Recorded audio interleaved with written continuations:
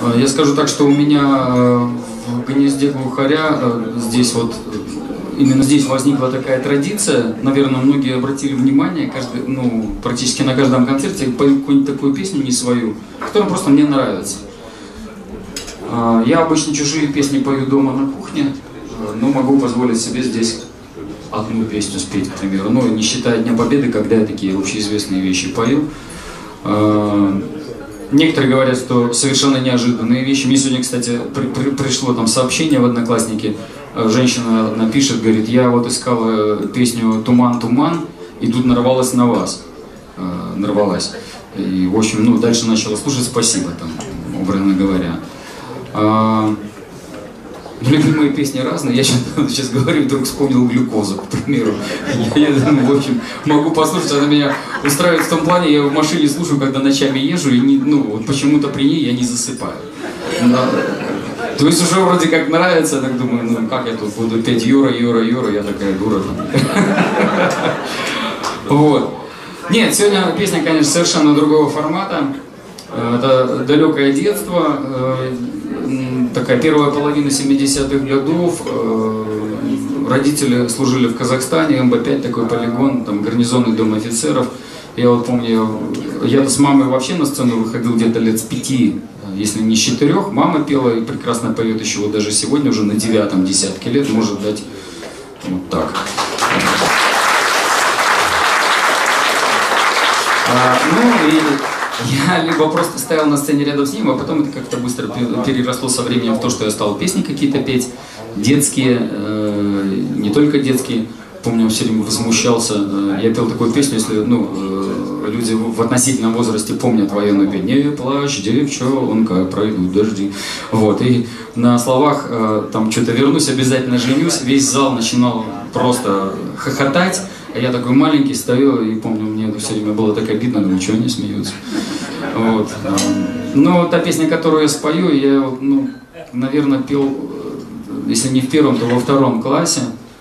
Помню, э, аккомпанировала мне какая-то там тетечка на фортепиано. Э, Может быть, э, я внезапно она мне пришла в голову, что я могу ее спеть, но действительно нравилось и э, нравится. Может, потому что ноябрь на дворе.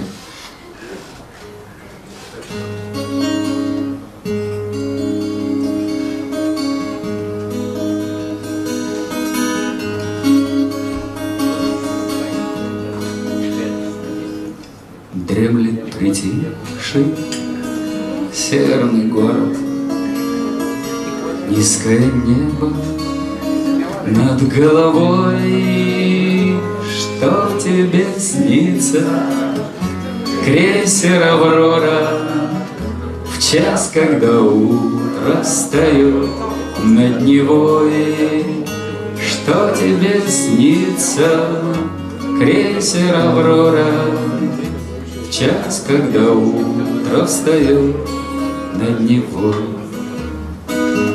Может, ты снова в точках мохнатых Вспышки орудий Видишь вдали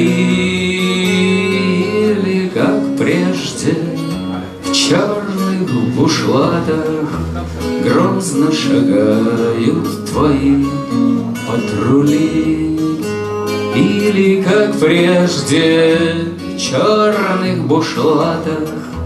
Грозно шагают твои патрули.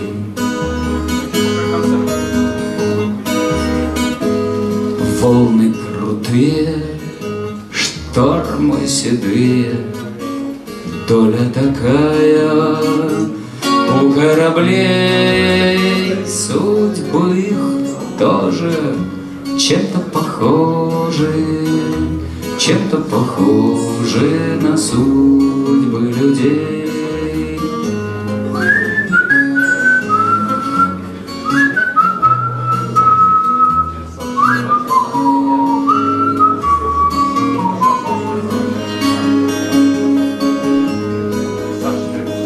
Ветром соленым дышат просторы, Молнии крестит мрак грозовой, Что тебе снится, Крейсер «Аврора» В час, когда утро встает над Невой, Что тебе снится? Крейсер «Аврора» В час, когда утро встает над Невой.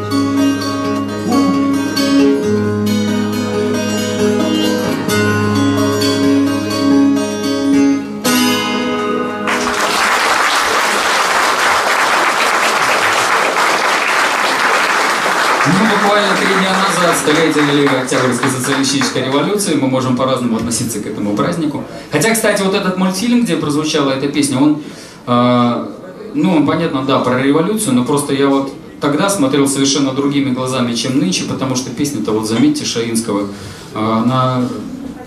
Это особой революции нет. Просто, ну, действительно, корабль-то уникальный. Он побывал в Цусимском сражении и вышел оттуда ну, с пробоинами там и так далее. Вот. Мы сегодня можем на него смотреть, это просто потрясающе. Действительно, вот, боевой корабль. А, в этой связи вспоминаю, тоже в 87 году я еще в военном училище учился в Питере. И помню, мы участвовали в параде в честь 70-летия Великой Октябрьской социалистической революции. В знаменном батальоне открывали парад. Мы все были такие гордые, отбирали всех по росту, я шел в последней колонне, отставить, в последней шеренге, потому что был так, ну, не, не, не того роста, как э, там, те, которые шли впереди, но все равно очень гордился. Я помню, нам дали аксельбанты, на шинель мы их повесили, нам разрешили потом еще в увольнение с ними уйти, мы ходили гордые по городу.